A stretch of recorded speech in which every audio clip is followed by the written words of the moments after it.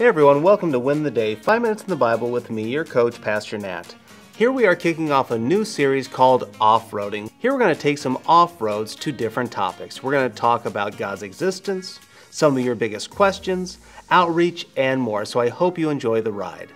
And today we're going to ask the question Does God exist? And if so, how can we know? Does God exist?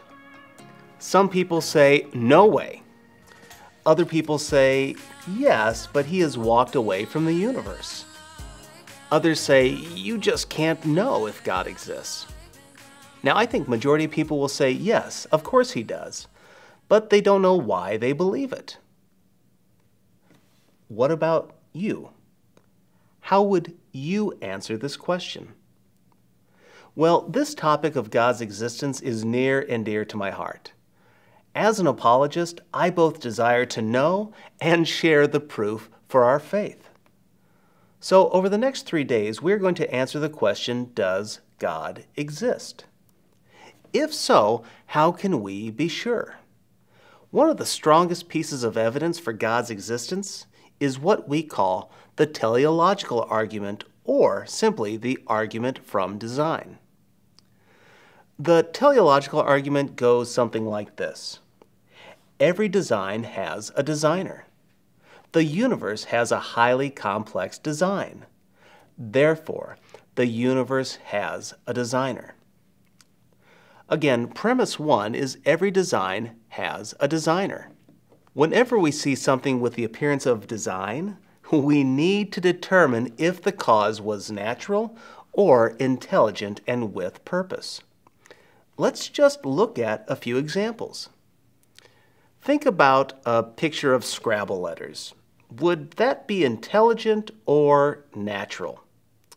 Now, what about if instead of just being random, there was a message in the Scrabble letters? Would that be intelligent or natural? Uh, think about a rock formation. Would you say that's intelligent or natural? But now think about Mount Rushmore. What do you say? Is it intelligent or natural. You see, it's obvious when things are designed by an intelligent designer. No one looks at an iPhone and goes, man, isn't it amazing what time plus matter plus chance can do? no, it is clearly intelligently designed with a purpose. So premise one, I think, is self-evident. But what about premise two? The universe has a highly complex design. Colossians 1 16 through 17 says, For by him all things were created, both in the heavens and on earth, visible and invisible, whether thrones or dominions or rulers or authorities, all things have been created through him and for him. He is before all things, and in him all things hold together. God is the creator and the sustainer of all things. He has put the laws of nature in place with purpose and design. They are for his enjoyment and it brings glory to himself. King David wrote about his very existence. He says, For you formed my inward parts. You wove me in my mother's womb.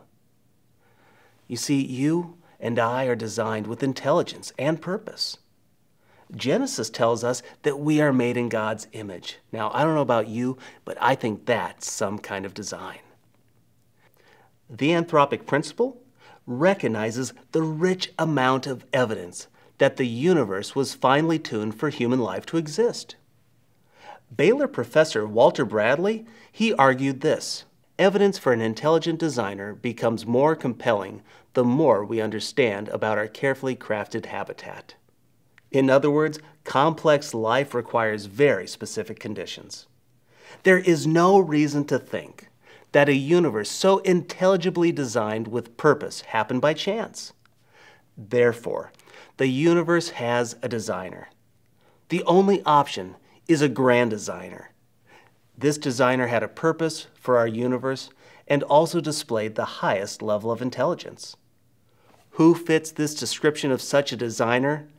I believe the answer is God. So here's my challenge for you today. Pause. Pause and look around you. Go outside and look at the trees. Look at the sky. Go look at a baby.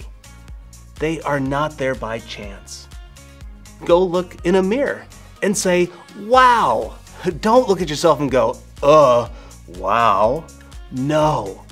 Say, I am designed on purpose and for a purpose. Pause and develop that sense of awe and wonder of God's amazing design. It's everywhere. It's worth studying, and He is worth praising. So look around and tell God how much you enjoy it. When we worship the designer and not the design, we will win the day.